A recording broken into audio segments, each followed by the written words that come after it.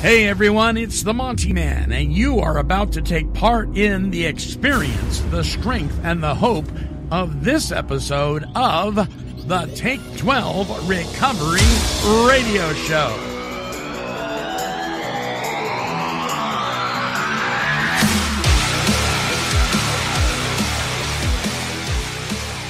Three, two, one, zero.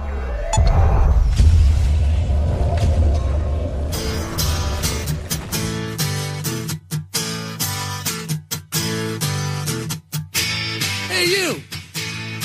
Yeah, you! Come here for a minute. I want to talk to you.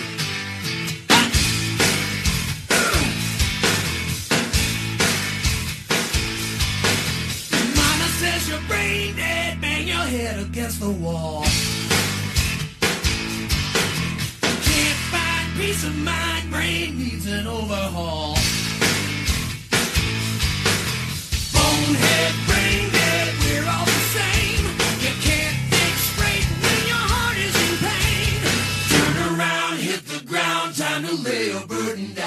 The views expressed on this broadcast of the Take 12 Recovery Radio Show are those of the co-host and guest and do not necessarily reflect those of our affiliates. The topics and opinions on today's show should not be considered as medical, psychological, or professional advice. Take 12 Radio is not affiliated with any particular 12-step fellowship. And now, here's your host, The man, the myth, the legend.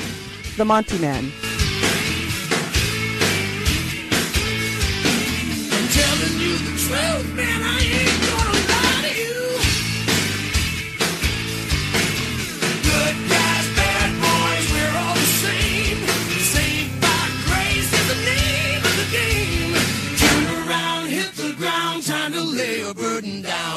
Well, welcome to the show, everyone. This is the time of the month where we bring to you some of the best of our shows from our archives. And in this uh, show, we are featuring Dr. Jamie Marich and Dan Griffin. Now, both of these folks really do carry a lot of weight when it comes to the topic of trauma and our recovery. Have we missed the boat?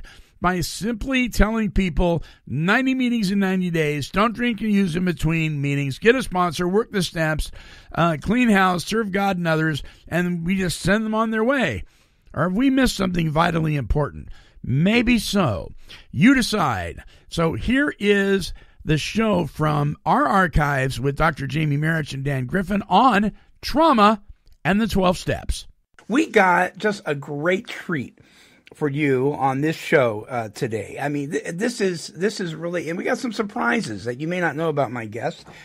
Uh, Dr. Jamie Marich uh, is on the show with us, uh, and uh, Dan Griffin is on the show. Let me tell you about these these two characters. I I just think the world of both of them. Jamie has worked in mental health residential treatment and in chemical dependency treatment as an inpatient, outpatient, and dual diagnosis counselor. Jamie obtained her PhD in counseling studies from Capella University and an MA in counseling from the Franciscan University of Steubenville. Jamie also teaches for several reputable online universities and she offers original workshops for counselors and social workers on a regular basis throughout the country. She is also the author uh, of a fantastic work uh, book called Trauma and the 12 Steps. So we're going to talk about uh, a little bit about that.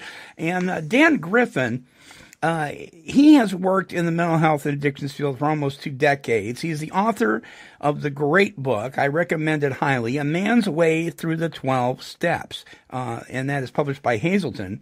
This is the first trauma informed book taking a holistic look at men's experience in, uh, of recovery from addictions. He is the co-author of groundbreaking curriculum helping men recover, the first trauma-informed curriculum to deal with men's unique issues and needs. Both of these people that are just amazing to me are extremely talented. And what some of you may or may not know is both of them are also what I consider recovery recording artists. They both have great voices. They both uh, they sing. Uh, Dan plays a guitar. Uh, Jamie, do you play an instrument? I play guitar and violin, yes. Guitar and violin. Dan, have you touched the violin yet? Uh, no, but I do play piano. Piano. Okay, so so we both got dual diagnosis here on both of you guys. Yeah. And uh, At least. Well, um, we're we're going to be hearing some music from both of these uh, uh, fine folks, uh, but we're going to be talking today about trauma, and this is this is one of uh, this is really like the favorite topic uh, with these guys. Uh, you guys have worked together before on presentations, correct? Uh, Yeah, we had Yep. a chance to do one presentation together, and we do a lot of, I don't know, Dan, how would you call it? Just what I consider collaboration in terms of talking to each other and, you know, getting some experience, strength, and help about what it's like to be teaching this trauma message out there to people. Yeah, absolutely. And I think, you know, what's nice is that we're learning from each other and growing and evolving our thinking. Um, and I think we also take very seriously the idea that the mantle is being passed from one generation to the next. And, and we know that we're part of that next generation and um, feel very passionately about uh, this message about trauma. Dan, let me let me ask you, uh, wh- why has the issue of trauma been overlooked for so long within the recovery community? I mean, I'm, I'm, there's a lot of ways you could approach that. I mean, interestingly enough, we've actually been talking about trauma for a long time. You know, kind of like we talked about addiction for a long time, but we didn't really have the research and the brain, uh, the understanding of the brain until around 1990s, where they really just kind of catapulted forward as far as the understanding of the brain. And, and as we've expanded our understanding of the brain, we've also kind of quote unquote rediscovered trauma. So when we were talking about toxic shame and ACOAs and a lot of the stuff back in the 80s, even codependency, at the heart of that was trauma. And there were people like um, John Bradshaw and Tian Dayton, um, Pia Mellody, who were using the word trauma. Um, but I think probably one of the biggest challenges, um, one of the things that I like to say is that, you know, we are a traumatized field and we work with traumatized clients and then we send them to a traumatized recovery community. Uh, and, and I think that's part of why this has been overlooked. We've got so much untreated, undiagnosed trauma in and around um, the community that um, it's hard. It's hard to look at it and it's hard to see. Similarly, like what happened with codependence, people started feeling like, my God, if, if I pay attention to this, then everybody in my life, including me, is codependent. Right. Um, and then, and that's distinguishing between codependent behavior and then an actual kind of codep, you know, a codependent diagnosis, so to speak, or codependent disorder. And so there's traumatic experiences as well as those who have, you know, trauma disorders, which Jamie can speak to much more uh, eloquently than I can. Uh, uh, Jamie, you work with both men, men and women, correct? I do, yes. So, who speaks more openly about their trauma, men or women? You know, honestly, it depends on the person. Yeah. Um, I, I've had several men come in, you know, very ready to heal, and I've had other men who have been very, you know, it's it's a stigma issue to, you know, I often say it's a bigger stigma to talk about your trauma than it is about your alcoholism or your addiction, especially in men. Um, you know, I don't like to make generalizations. I, I do think, you know, there's issues working with both genders, although, and I'm sure Dan could speak more eloquently about this, the field, you know, both mental health and addiction has tended to provide more support for women who want to specifically speak about trauma. Because I think we have, you know, identified now in the last two decades that yes, a lot of women are traumatized and need that specific attention and, and specific uh, platform to be able to work with it. But I think as a result, a lot of our willingness to work with men about trauma, I don't want to say willingness, but our uh, readiness uh, to work with men on trauma has been kind of put on the back burner. Since I've, I've met both of you guys, and I've, known Dan longer than you, Jamie, but but uh, in talking with both of you uh, over the years, what I've noticed while attending my own 12 step support meetings uh, that I never noticed before is I'm, I'm hearing traumatic experiences constantly in the sharing. Um, I, I mean, everything from sexual abuse uh, to spiritual abuse, which is something you also work with, Jamie. Oh, yes. Uh, um, and, and and it amazes me that we haven't. I know you say we've been talking about it a long time, but within our prospective 12 step fellowships, it hasn't been something that's really come up a lot that I've heard before as far as addressing the issue. It's almost like it's an outside issue, if I can coin a phrase. Um, Sure. How, how do we get let, let me ask both of you guys how do we get the folks within the 12 step community uh, talking about this stuff I have a lot of feelings on this. Um, you know, in my book, Trauma and the 12 Steps, I talk a lot about how my first sponsor was willing to talk about it. And I think because that was the case, that's why I stuck around when I first got sober. Um, you know, I all, I love what Dan says about sending people into a traumatized field because I think by Yeah. and large there's a resistance even within 12 step. You know, take professional community outside, but just in the meetings there's a resistance to work with trauma for a couple of reasons. You know, one is, well, we're here to deal with our addiction, you know, and we know those debates go on in the fellowships all the time about, you know, should you be talking about outside issues?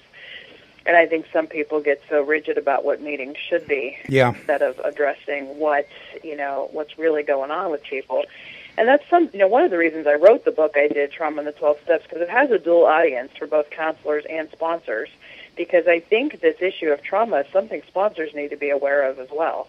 Um, because we'll just be creating healthier meeting cultures, healthier, healthier sponsee sponsee relationships. If we just get an awareness going about what trauma is, that you know it really is hard to separate the two, the heart, you know, the trauma from the addiction, and we're really doing people a disservice by saying, you know, oh, don't drink, go to meetings, you know, just work the steps you know, there's a reason that a lot of people don't stick around, and I think not wanting to have these difficult explorations about the trauma is a big reason why. I really I love Jamie's book, uh, Trauma and the Twelve Steps. I mean, I um, when I I immediately reached out to her when I learned about it, and um, I recommended all the trainings uh, that I go to um, that I lead, just simply because I think it just is a, such a wonderful conversation and discussion about how trauma shows up constantly in the 12 steps. I mean, if you look at Bill's story, you see trauma everywhere. Yeah. Uh, when you read the stories in the back of the book Alcoholics Anonymous, you hear trauma. The thing is, is that we didn't always have the construct of trauma. And so we talk about abuse. We talk about this, we talk about that. And in the context of the steps, there's a lot of great healing that has happened. But then there's a lot of people, because of not knowing about trauma, that have re traumatized uh, people in the recovery community, and it happens all the time. I mean, it's like living a lot of times in a giant dysfunctional alcoholic family where we're all trying to get sober, but we haven't looked at our ACOA issues, our codependency, our trauma, and we're just bouncing off of each other, praying to God that some of us stay sober. And you know, it doesn't have to be like that. And so I think there's a bottom line, and I think those of us who see it and who get it, um, I feel passionately um, have a responsibility to be talking about it, talking about it I with agree. the people we sponsor, talking about it. Every time I do a lead, every time I'm invited to speak somewhere within a 12 step fellowship outside of my professional career, Right. I always now talk about it. And I, I didn't. I, I didn't for a long time that I was even doing this work. And um, I think similar to uh, other issues that used to be considered outside issues, I think this will ultimately, 10, 15 years from now, I think it will not be uncommon for us to be sitting in a meeting to hear people talking about how they have also been healing from their trauma or what happened to their sobriety when they really began dealing with their trauma. Because right now, the sad thing is, is that there's this, there's almost this complicit belief that says, you know, when you have 15 or 20 years of sobriety, deal with your sub- you deal with your trauma because it's kicked your ass enough. And you know, like I think I can speak for Jamie when I say that's completely unacceptable. And those of us who stay sober that long are the exception to the rule. So, um, I, I mean, I'll get on a soapbox about this anytime, and anybody who wants to call it an outside issue, you know, um, I, I just I, I can't I can't get behind that. I, I, I, I totally agree with you. And, and, uh, and Jamie, you said something about, you know, we get so stringent about outside issues. Uh, The deal of it, of it is, if it is associated with my recovery, it is if it's associated in any way with my illness, then it is not an outside issue. It's very much an inside issue.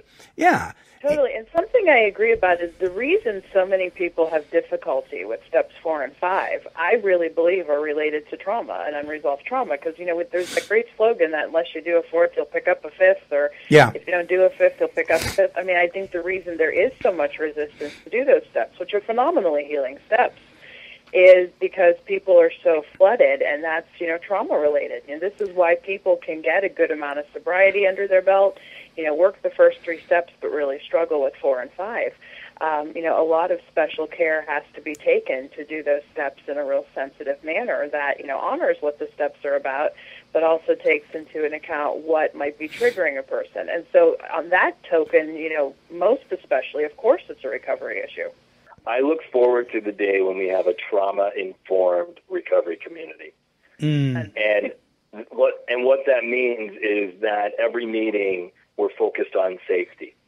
Every meeting we're focused on creating a space of trust and empowerment. And what that also means is that you know it'll just become basic knowledge that if somebody is working on a four step or let's say you're doing a fifth step with somebody and they start talking about abuse, you're not going to say what was your part. Like that's one Oh. of the oh. ways we re-traumatize people.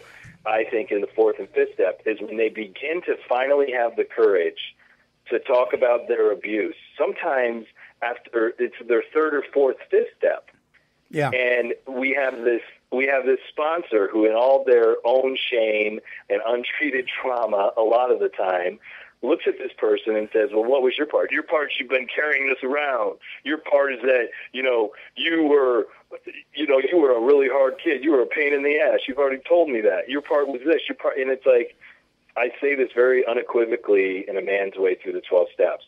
I don't care what you did. I don't care how you acted. There is absolutely no your part when it comes to abuse. And until we em- emphasize and make, you know, shout that message from the rooftops of the recovery community, Yeah. um, I, you know, I think we'll continue to re-traumatize people, in particular with that step, as Jamie was saying. Yeah, and we do we do things like we we do things like we say, well, you know, y- y- she got drunk, so if she hadn't got drunk, she had to have been raped. And so just putting herself in that position, she was asking for it. We say stuff like that and it makes me sick. It does to me too as a woman. And another issue that I think, you know, I'll, I'll keep this snowball rolling in terms of, I'm so glad Dan said about creating a safe space at meetings. Mm-hmm. You know, there are, you know, and I say this unequivocally and passionately, there are some meetings in my local recovery area where I would never send a woman. I mm. would, you know, and I don't know, Dan, how you feel, that, you know, about the male piece. I'll let you comment on that. But, you know, so many women at meetings getting picked up on, and you know, get Right. really. I have, I, I see stuff at meetings that makes my my stomach curdle or turn in terms of just what women feel that they encounter even at meetings or the whole forced hugging you know the whole we hug around here because i mean i'm all for hugs and handshakes but to me part of being sensitive is recognizing not everybody wants to be touched That's right. You know not everybody is ready to be touched and um, you know i think a meeting should be a place where there's safety i'll tell you a funny story because you know both of you know i got sober in europe in a very small town and our meetings were very small Right. and the first time I came to a meeting in the States and somebody hit on me, I was I felt like violated. Like, oh my God, you know, this is supposed to be a safe space for me. This hadn't happened in my experience where I was going to meetings. And, you know, I think issues like that, you know, that make that's something that makes me sick. Um, just how certain meetings aren't safe places for people to come to because of those trigger issues. Absolutely. Absolutely. Uh, uh, Dan, you want to comment on the men's side of that?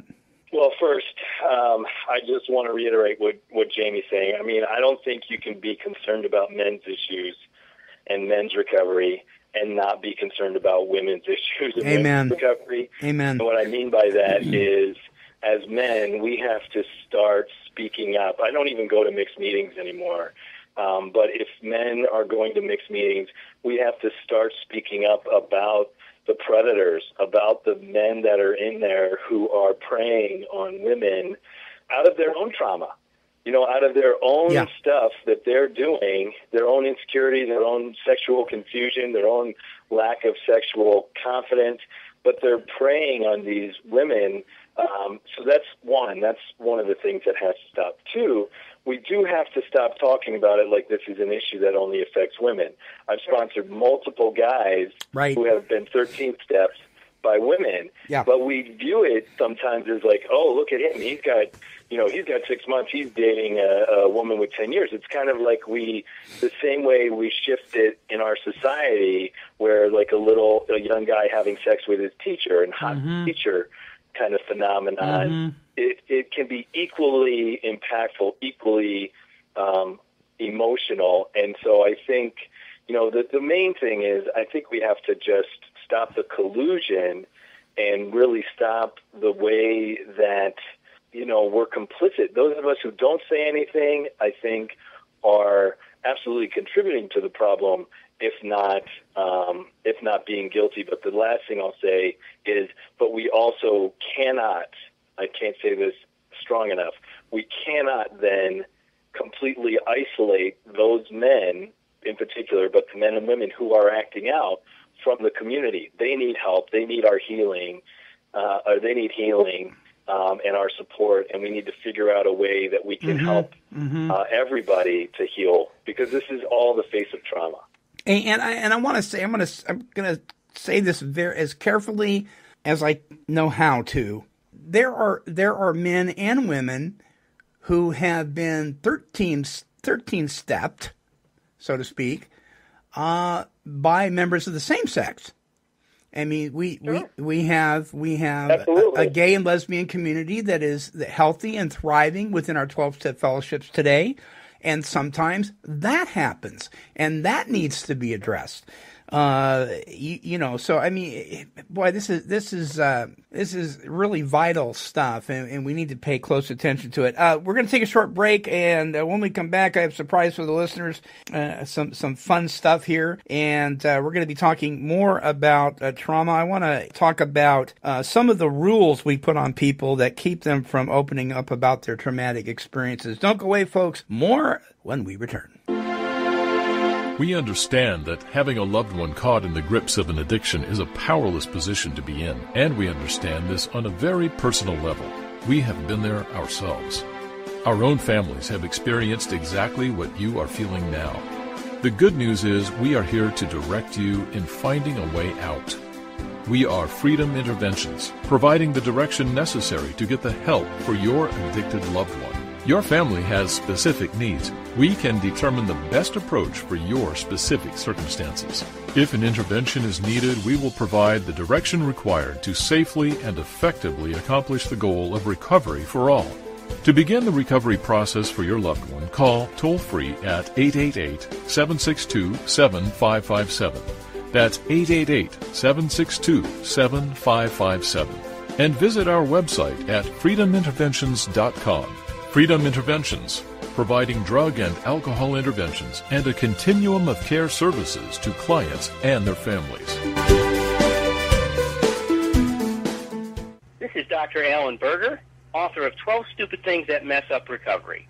You're listening to Take12Radio.com, featuring recovery talk and positive music. Sticky feet. Well, I guess I got sticky feet. Smelly socks and sticky feet. There's nothing wrong with sticky feet. Yes, indeedy. And that is none other oh, than the oh, voice oh, of Dan Griffin, our own Dan Griffin, with his song Stinky Feet. Uh, one of the things that many of you may not realize is that, that both of my guests are uh, quite accomplished musicians in their own right. And I, I knew that about Jamie. I had no idea about, uh, until just the other day about Dan. Uh, that that is actually uh, from his website uh, that where he's working with kids. Uh, Dan, that must be a hoot, huh? Oh, I love it. I mean, I it, when it looked like my wife and I weren't going to be able to have kids some years ago, I had already kind of had all this energy come up around that.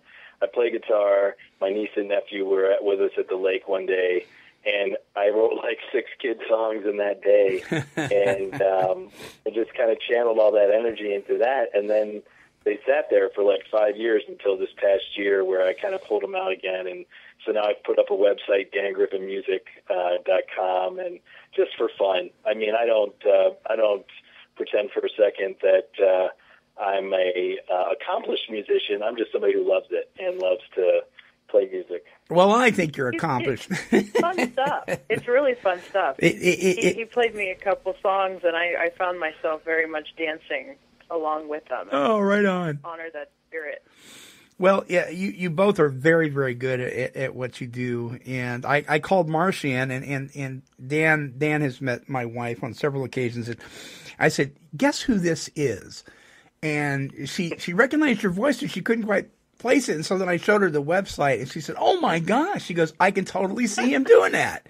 You know, uh, you- most people know that Dan is a, is a character, and uh, but he's got a very serious side about him as well. And this issue of trauma is certainly uh, is certainly a focus uh, of yours. Dan, let me ask you, uh, and I want to ask this of Jamie as well. There's these rules, and I re- I got to tell you, Dan, I really appreciated uh, you and Raleigh uh, doing the presentation at the. Cape Cod Symposium on Addictive Disorders uh, on this this thing about these rules that we put on people um, that keeps them from opening up about their traumatic experiences. What are the, some of the rules that we put on each other?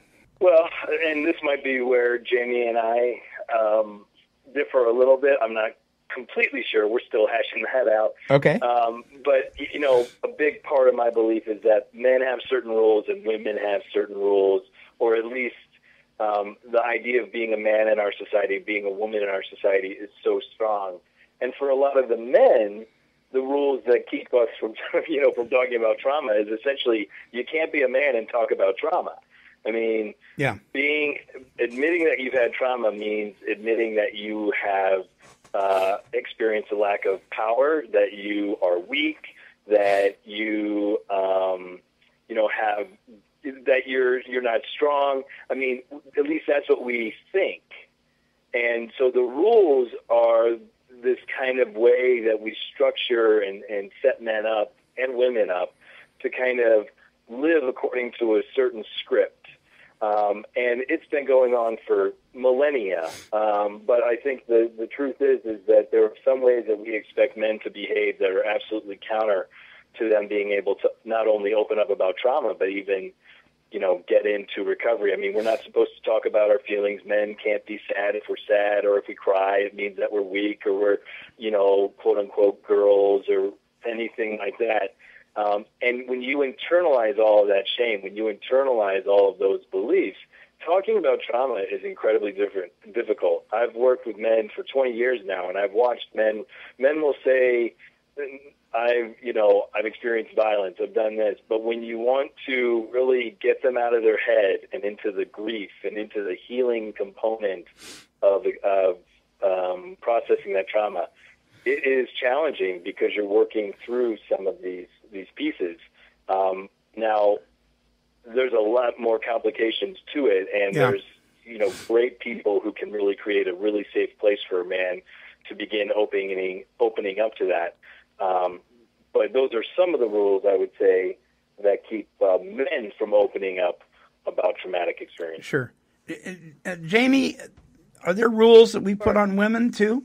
Well, I mean, I- I think there are, um, you know, for a lot of us, you know, because I, I think there is this maybe an assumption that it's easier for women because we are more feeling and more emotional creatures. But I think that's, you know, even a bit of a harsh stereotype because I think there are other variables besides gender with rules that we need to consider. For Mhm. example, I think one of the biggest ones is growing up in the alcoholic home um, and the whole you know rules we get in that home you know don't talk don't trust don't feel i think you know they may manifest differently in men and women but essentially if you grow up in that experience where you're not allowed to go there with feelings of course it's going to be more difficult uh, to be able to talk about trauma and in working with you know clients in recovery both men and women that's one of the first roadblocks we have to look at is you know where did you get these messages that you can't feel or that you're not safe to feel And sometimes it is, you know, a clear societal message about gender, but other times it's what was taught in the home, and I see that go on in both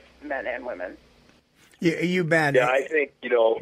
Go ahead. I, I was just going to say. I mean, I don't. I don't know how much we want to get into this this conversation, but I think these are the nuances that we talk about because, you know, it's somebody who grew up in a very violent alcoholic home. Like, I totally understand what Jamie is saying. I think, um, you know, I'm a trained sociologist, so I think systems, and I also am a trained CD counselor, so I think the micro. So I have a hard time sometimes separating um, those things. I, th- I think all things being equal, you take a man who grows up in an alcoholic home and a woman who grows up in an alcoholic home, or you take a man who grows, doesn't grow up in one and a woman who doesn't grow up in one. I think you'll still find that there are more difficulties not only for men in general, right? I am going to generalize in general to talk about trauma, but for us as people who work with those men and support those men to recognize the trauma, to honor the trauma, to give them a space to create it. I mean, Jamie's coming from a place that I really respect as someone who gets trauma. Yeah. as somebody who really understands, you know, what that looks like and how it shows up for men and women. But she is the exception to the rule in our field. And so part of why I bang this drum so loudly is because until the field is full of Jamies, then um, I will continue to generalize because we've got far too many men, more so than women, leaving treatment, leaving services without anybody talking to them about their trauma, um, and then going into environments where if you talk about trauma, a lot of the times the implicit you don't even have to come out and say it, but the implicit perpetrator of trauma is who? Men. Um, almost default. That's when we talk about perpetrators, we That's what we're talking about. mean men. And don't even bring in race because then Oh. it compounds it. Um, and I lastly just want to say I really appreciate Monty your last comment because I realized I was being very heterosexist in how I was even talking about the issue of 12 of 13 stepping and that that factor. I mean, the issue of trauma is alive and well in all you know communities, Right. LGBT as well as as well as others. So I appreciate you bringing that up. Yeah, you bet, you bet. Um, okay, I, I want to get real personal with, with you for a minute, Dan. Uh, Dan, you've gone through your own trauma. You uh, have uh, you, you lost your dad. Can you share a little bit about that? Because I want to play this song that you wrote uh, called "Memories of You." Can you share that with the listeners? Sure. Well, you know, I mean, it's interesting. I, um, I mean, Jamie and I, I think, are both very open about uh, our trauma experiences and and that being a core part of why we do this. And I think um, that's why maybe we're so passionate. Um, and for me, you know, my father was a, a very sick alcoholic um, who died when I was 21. His chronic alcoholism took a very bad turn when I was 14. Um, he was violent. He was a very uh, traumatized man. I've learned since he died, uh, and so I never knew him. And I was, uh, you know, deathly afraid of him. And and at a certain point, it turned, and I became the man he feared. Uh, and that was the last thing I wanted. Um, but you know, that's the kind of insanity that exists in alcoholic homes, especially sometimes between men. Um, and uh, the sadness was when he died. Um, any chance of that kind of reconciliation, at least between me and him on this earth, um, was gone. And Wow. that's part of where the song came from. Was this hard for you to write? No, Yeah. uh, it was hard for me not to write it. Yeah, I get that. I get that. You bet. So this was healing for you.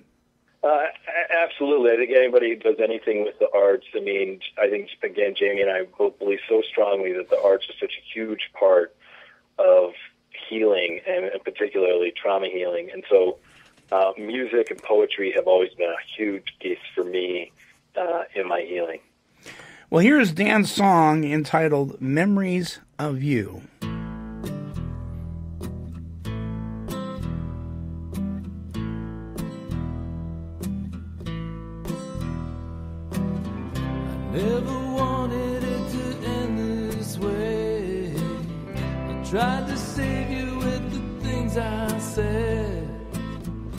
Hear the echoes of your voice and wish I made another choice. The fear and pain that clouded up my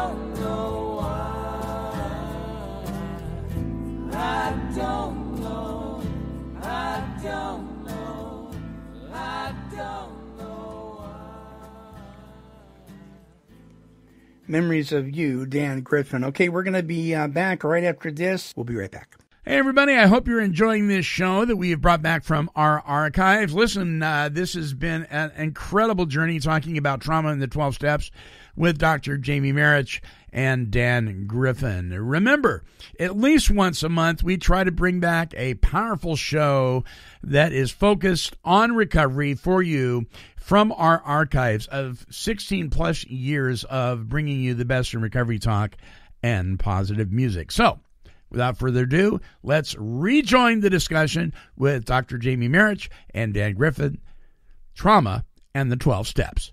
Uh, my guest today is Dan Griffin and Dr. Jamie uh, and they are both uh, they both have a passion for this whole topic of trauma because uh, many of us we we go through our twelve step support meetings, we apply and implement the spiritual principles found in the twelve steps. And many times we just jump right over the whole issue of trauma. Uh, let me ask both of you guys, because I was asked this question uh, Can trauma be passed from one generation to the next? And let me, let me kind of re, rephrase that question.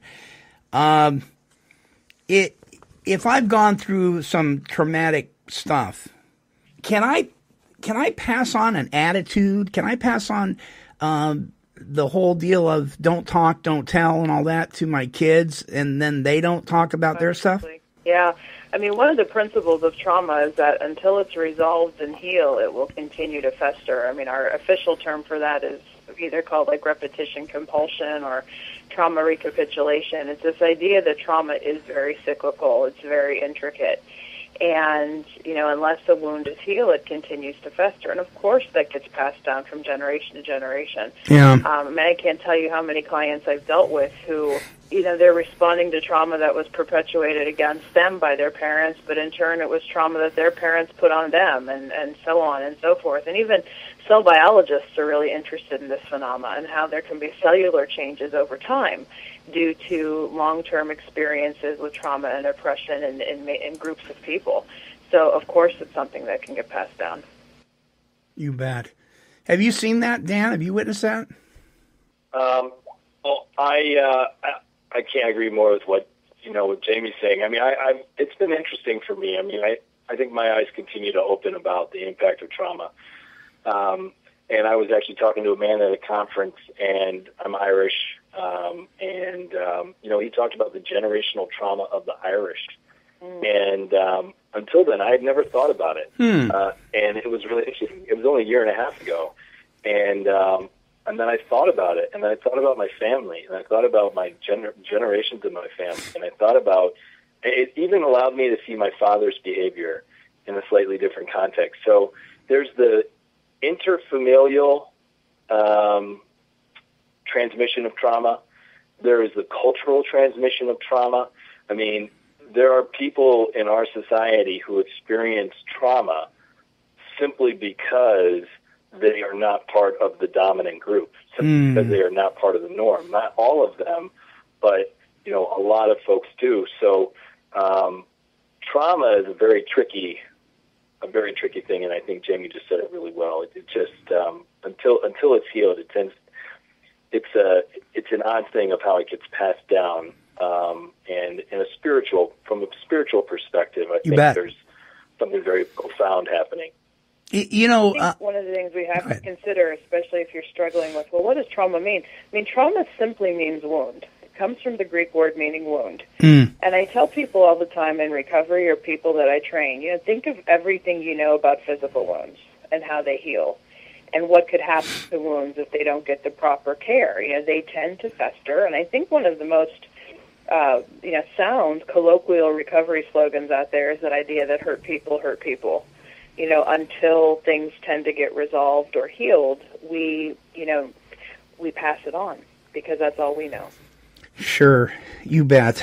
Uh, okay, I, I- want to address this this idea that I've I've heard from um, a fellow colleague of all three of ours that there's a concern that if we focus so much on trauma that we'll get away from the application and implementation of the 12 steps. So my question to you guys is how can we marry these two things together? How, how can the 12 steps help us to deal with trauma so we don't skip over this? Dan, do you want to go first? 'Cause I feel like I could. I, I was going to say you wrote you wrote the book on it. um, I mean, I'll I'll I'll say a little bit, but Jamie really, I think, can speak to this um, extreme, extremely well.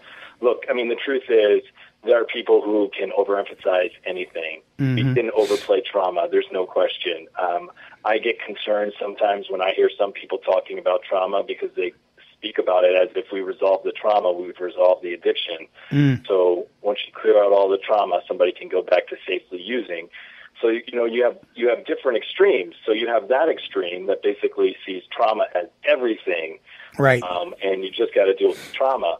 Then you have the other extreme, which is you just got to work the steps, and you're there is no real trauma. You're just Mm. feeling sorry for yourself, and it's self-centered fear, and you're playing a victim, and you're doing this and that. You know, never mind all the brain research.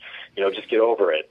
Um, so I think the middle way, you know, the classic middle way, um, is is the place where you absolutely not only can emphasize the 12 steps, but you can use the 12 steps as an incredible catalyst for healing Um, the last thing I'll say is that you know one of the things my book I think really attempts to show is that the 12 steps can deal help us deal with anything if we use them for that. Mm-hmm. And I, I think that's the key. Right. Jamie? And and I think and I, I think too, you know, one of the misconceptions about you know addressing trauma and trauma treatment is that it means we have to go back to the past and dig everything out, and these may be relapse triggers or give people excuses. I mean, can trauma be used as an excuse? Absolutely. You know, it all depends on how we frame it. Because something I talk to professionals a lot about is, you know, you can be doing trauma sensitive work without necessarily even talking about the trauma just yet. But you know, like things like helping people learn how to breathe, helping people use good body-based coping skills, be sensitive to triggers, you know, and how certain meetings may trigger people, or how certain things may make the 12-step meetings not appealing. You know, I, like Dan said, I, I wrote a book about it, so I could go on and on. But I always look to the example given to me by my first sponsor. You know, she had 25 years sober. She really got trauma. Was a trained social worker, so I think her having some of that professional background helped. But uh, something she was able to do was validate everything I went through and not just fluff it off. Like Hmm. that's insignificant, you know, because we're we're cutting off such a big part of a person's humanity, and that's shaming when we do that. And how she approached it was, Jamie, after everything you've went through in your life, you know, in your family history, you know, it's no wonder you became an alcoholic. But what are you going to do about it now?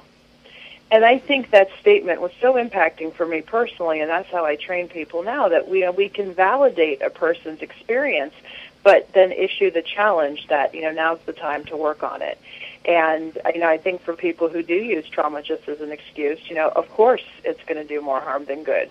But it, you know, if it can become a way that we can validate and you know release people of some initial shame they might feel, then of course you know we, we can work the 12 steps even better. Because I said when I started, I don't think I would have stuck around if I wasn't met with that sense of I honor your story, I honor what happened. Mm-hmm.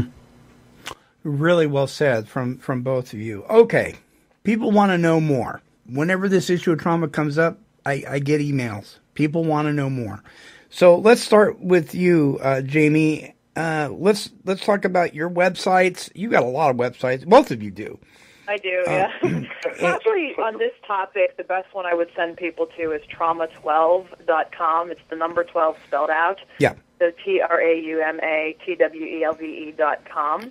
And I have a lot of resources right up there. You know, some links about where you can get the book, but some videos, articles, some guided meditations that are very trauma sensitive that people can download. Um, I also have the Dancing Mindfulness website, dancingmindfulness.com, because as you mentioned, I do a lot with the arts as, as, a, as a method of healing. But if people visit either one of those two websites, they'll be able to find me, get in touch with me, and access some more resources. Dan, how about you? Uh, I encourage people to go to www.trauma12.com. Um, 12, spell out the word. Thank you, Dan. I mean, I mean that in all sincerity. Um, I mean, my website's www.dangriffin.com, and it's G R I F F I N dot com, or helpingmenrecover.com. And, um, you know, I think I've got some pretty solid resources on there. I could probably benefit from reviewing my website. Uh, but, um, I mean, there's some there's some really wonderful resources out there that can help people, you know, learn about this. Tian Dayton has written some wonderful um, stuff about the ACOA syndrome uh, and how it's affected by um, trauma. I mean, I could name a, a, a bunch of resources, but I, I have some listed on my website. I know Jamie has them listed on hers. So, yeah. yeah. Excellent, So- excellent. And, and Dan, uh, I want to say, Monty, I just, oh, sorry, I just was going to say, I just really want to thank you for playing that song. I don't want to take any more time, but I just want to say that uh, that's the first time I've actually shared that song publicly. really, Um, and I, yeah, and I wasn't, I was not expecting you to play the whole thing, so I am just really touched by your um, your decision to do that. So thank you. Well, a- absolutely, and and you both. Uh, I, I respect both of you so much, and uh, what you guys are doing is is just so vitally important. And if we don't deal with this stuff, if we don't share our experience, strength, and hope uh, when it comes to trauma, we're really missing the boat. Um, I, I, I just I just thank you so much for your work. Uh, It just it means so much to our listeners and, and to so many people. Thank you, Monty, You you bet. for giving us the platform. We have uh, Absolutely. Thanks for having us. Absolutely, and I want you guys to come back anytime. Don't wait for me to call you. If you've got something you want to share, if you've got more music, if you've got uh, more books, if you've got stuff you got, you know, at some point, Dan, I, I, we want to talk about your new website. We don't have time today to do that. That you and Dr. Berger uh, have put together, but I, I want to address that. Um, please call me. Please email me. You guys are on the very top of our priority list when it comes to requests to be on the show. And we get a lot of requests. I can't accommodate everybody. Uh, but but you guys are, are definitely a priority because this is such an important issue. Um, we only have a couple minutes left. I know Dan, you have to go, but I, I want to make sure that the listeners hear this song uh, that uh, that uh, Dr. Jamie. Do people call you Dr. Jamie sometimes? You can call me Jamie. I Oh, mean, okay, I'm okay, not- okay. Uh, I'm but- not hung up on titles. Uh, I, I know. Dr. Jamie's kind of endearing, though. You know, it's like Dr. Phil, Dr. Bob, Dr. Mon, Dr. Dan. Uh, tell us about this song that we're going to close out with, uh, Jamie. This song is entitled, Sure. I think I'll Let You. This is a cappella, right?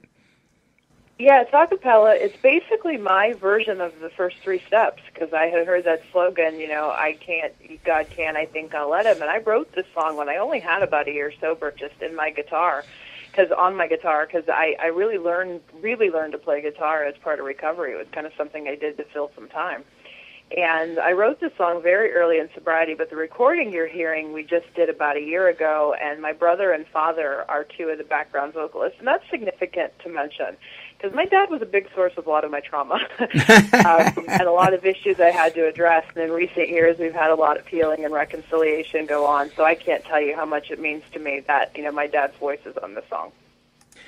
Okay, well, we're going to listen to this song. I think I'll Let You. This is beautifully done. Here we go. I'm standing at the door of something wonderful and free. Through the window pane, I looked at love and joy awaiting. But I'm standing in destruction.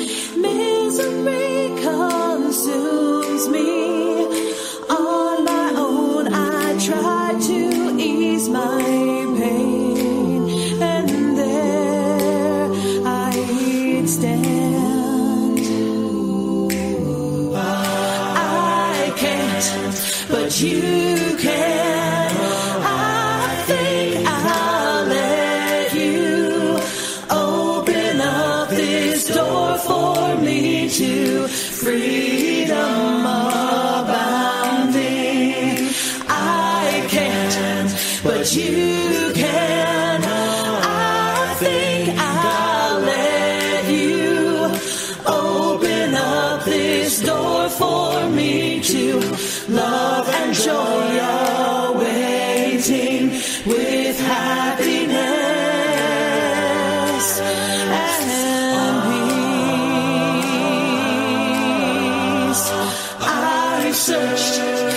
I tried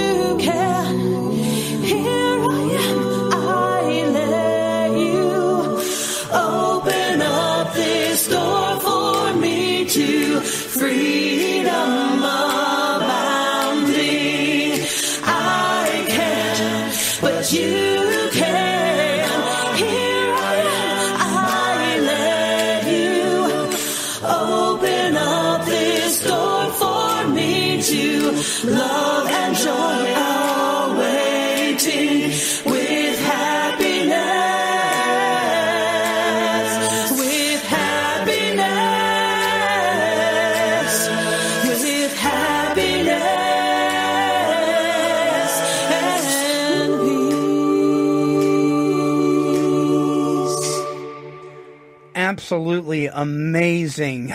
Oh, thank you guys so much for being on the show. Just what a what a blessing, uh, folks. A special thank you to Dan Griffin and Dr. Jamie Marich. Uh, please visit their website. You can go to the links here at our webpage at take12radio.com. Until our next broadcast, this is the Monty Man, along with my special guest this week. We're wishing God's perfect serenity for you.